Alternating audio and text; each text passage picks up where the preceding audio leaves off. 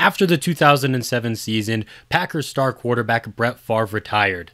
But then, as we all know, he unretired and, long story short, was traded to the New York Jets. But the Buccaneers was, were another team in the mix for trading for Brett Favre. So, what would have happened if Tampa Bay had gotten him instead of him going to the Big Apple? That's what we're going to try to find out today. This video idea was recommended to me in the comment section of the Drew Brees What If video by Jacob Scora. Uh, so he, you know, left a recommendation. What if Brett Favre signed with the Buccaneers? And I was like, you know what? That's a pretty good idea. And I don't think anyone else has done any kind of video like that. So that's what I'm going to be doing today in Madden 08. Couldn't do it in Madden 09. That would have been the correct year to do it. But, you know, with the whole Brett Favre retirement stuff, he's not in the base game and I can't update it obviously on the PS2. So we're just going to be rocking in Madden 08. And if you guys have any video recommendations like this, go ahead and leave them in the comment section down below and I might just use them. We're going to try to put this team in the best spot to succeed by doing some training camps here with Brett Favre, Cadillac Williams, Cato June, and Michael Clayton, just trying to get the most out of our team and the most out of the guys we can get around Brett Favre. So we probably only have one year to do this rebuild. Brett Favre will likely retire after this season. If he doesn't, I'm totally open to doing another season though. But let's look at the team he has around him. Obviously, he's going to be quarterback. Bruce Gradkowski will be his backup. He won't need to play because I did turn injuries off because I mean we're only going to have one season, and if Favre gets hurt, you know, in week five, he's out for the season. That's going to just really throw a wrench in this whole thing. Cadillac Williams, 89 overall. Michael Pittman backing him up there. He's also going to be our third down back. Mike Scott at 32 years old, 86 overall fullback. Joey Galloway, best receiver here. And then it kind of falls off to Michael Clayton, Ike Hilliard, and David Boston. Jerramy Stevens will be the starting tight end. Then you got Alex Smith and Anthony Becht behind him. The offensive line is pretty solid 86 overall, 84, 85, 87 overall. And then right tackle is definitely the weak, weak, weak link there, as it's a 79 overall the defense is definitely the strong shoot of this team. Kevin Carter, 86 overall defensive end. Simeon Rice opposite of him. We got Chris Hovan at defensive tackle. Wims and Sims are there as well. Cato June at outside linebacker. Ruud at middle linebacker, the weak spot in that area. And then, of course, big Derrick Brooks on the right outside linebacker. Your cornerbacks are going to be Rondé Barber, Brian Kelly, and Phillip Buchanon. Sammy E. Davis is there as well. Will Allen will be the free safety. You got Phillips at strong safety. Matt Bryant is going to be the kicker. Josh Bidwell, the punter. Buchanon will be returning kicks and punts. And uh, as I said, Michael Pittman will be the third down back for this team. All right, we are at the trade deadline now, and we are going to be making a move with the 49ers to acquire their middle linebacker here, Derek Smith. He is 32 years old, but we are in a win now mode. It's a little bit of a weird trade because Adams is actually a rookie that was selected fourth overall. So maybe not the most realistic trade, but I'm also trying to win now. And uh, he's not having a whole lot of an impact currently as he is a backup behind Simeon Rice. We're also going to be sending him a third round pick. Shouldn't really matter since this is probably only going to be one year. It's also going to free up a ton of cap space for us. And going right along with that move, we are going to be signing free agent wide receiver Peter Warrick.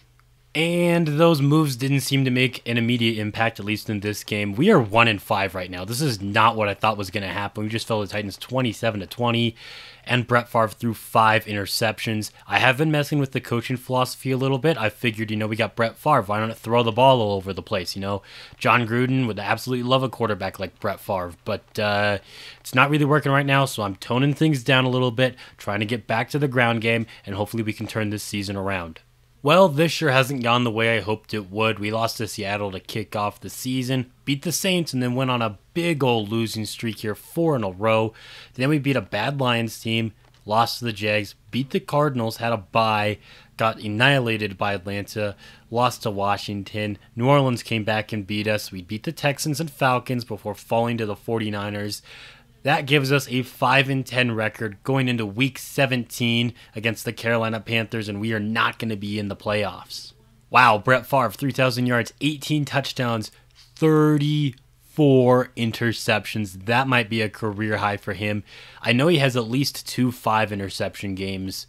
So uh, things have not gone the way that we sure hoped it would have here in Tampa Bay. 1,200 yards and 9 TDs for Cadillac Williams thus far.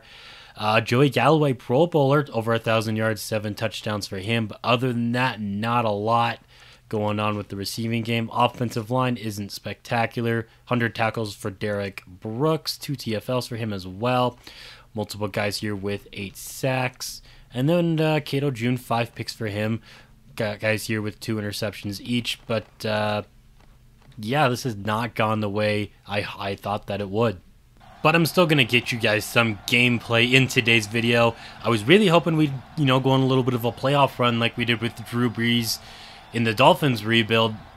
Unfortunately, we're just going to have to settle for a Week 17 matchup against the Panthers. All right, here's Brett Favre and the offense now. He's looking to throw on first down, connects with Stevens.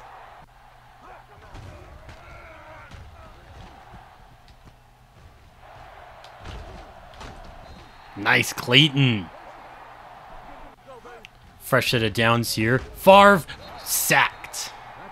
That sack is going to take us into the second quarter now. Favre steps up and is nearly intercepted.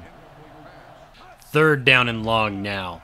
Favre stepping up, airing it out deep into double man coverage. No can do.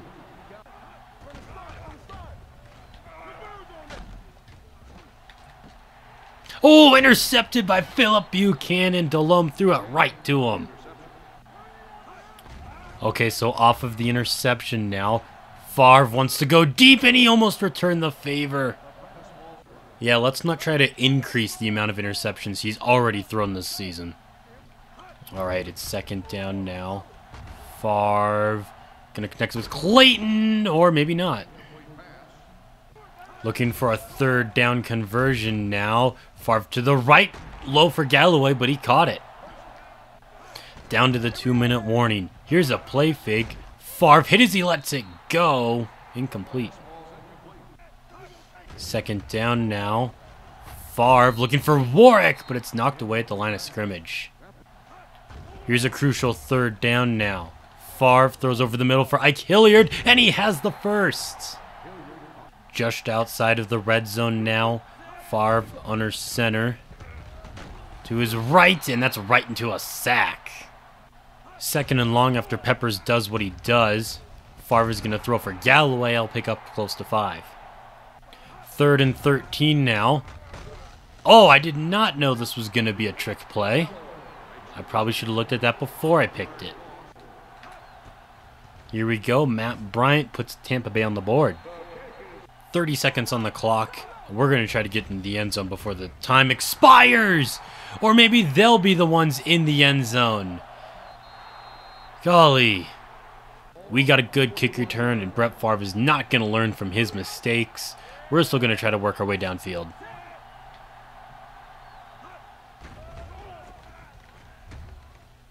This one caught on the sideline. They're calling that a catch from Joey Galloway. First down after that spectacular catch there. Favre is going to fire to the left side. He's got Clayton. Fumbles the football out of bounds. So we can take a couple of shots to the end zone, that means. This one, incomplete. Four seconds left. All right, want to be careful to just quickly get this off to the end zone. No! Should have just settled for the field goal. Instead, we're down by four at halftime. The Buccaneers will get the football to start off the second half of this here game. Brett Favre going deep here for Warrick. Incomplete. Second down now. Favre is going to try to thread the needle, but it's not going to work. Early third down on this drive now. Favre is going to throw, and it's going to be dropped. So the Panthers tacked on a field goal, which means we're going to be down by seven with less than two minutes to go in the game now. Favre trying to lead a game-winning drive. There's a nice start out to Galloway. Now on second down. Favre. He's going to throw this one back to Galloway. He's only going to pick up five. We're just two for five on third down today. We got a conversion there with Joey Galloway, though. Let's hurry things up. Oh, Galloway's open again. They've got him. He's got some pretty good speed.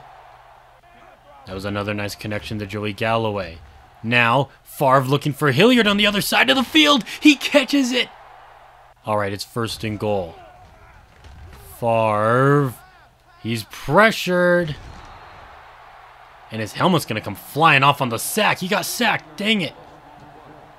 Put your helmet on, Favre. Get back out there.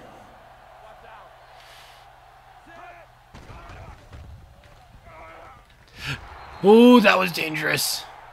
Okay, we've got third and goal from the 17 yard line now. Favre throws it, it's going to be picked off. No game winning drive for Brett Favre or the Tampa Bay Buccaneers. And that game really felt like it described our season. A little bit of an opportunity, but then Brett Favre throws an interception. And just as I suspected, Brett Favre is going to be retiring after just one season here with the Buccaneers. And I'm pretty disappointed with what happened. I mean, the Buccaneers felt like they were one of those teams that was just a quarterback away, you know, from doing something. I mean, they made the playoffs in real life in 2007 with like Jeff Garcia at quarterback. This is that same roster. Just throw Brett Favre on there. They're a 12 and 4 team, right? I guess not. 5 and 11.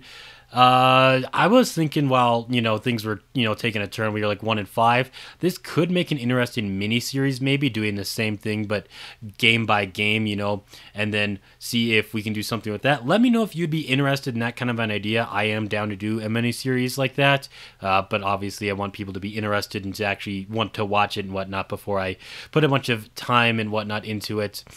But uh, yeah, again, if you guys have any recommendations for some realistic rebuilds and whatnot and what ifs in these old Madden games, leave them down in the comment section below. But until next time, this has been Jeffrey reminding you to stay moist.